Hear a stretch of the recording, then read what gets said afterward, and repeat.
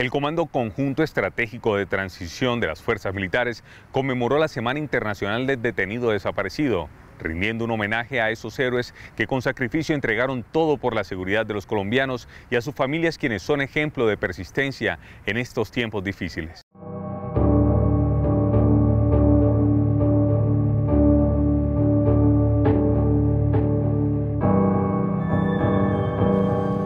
24 al 30 de mayo, los miembros de la fuerza pública quieren también sumarse eh, al rechazo, al recuerdo del contexto de lo que fue la barbarie sistemática que padecimos sobre ese crimen aberrante de guerra perpetrado por las extintas FARC. Tenemos ante el Registro Nacional de Víctimas, en la Unidad Nacional de Víctimas, más de 6.000 miembros de la fuerza pública que fueron vilmente secuestrados,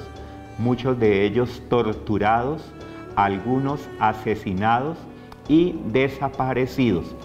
El Comando Conjunto Estratégico de Transición se quiere unir en esta conmemoración de la Semana del Desaparecido para que aquellos que hacen parte de la fuerza pública nos reunamos en el sentido de recordar a nuestros héroes y veteranos, a sus familiares y a todos aquellos que padecen el dolor de la ausencia de estos miembros de la fuerza pública,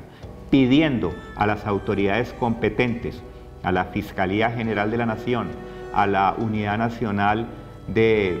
Víctimas, a la unidad encargada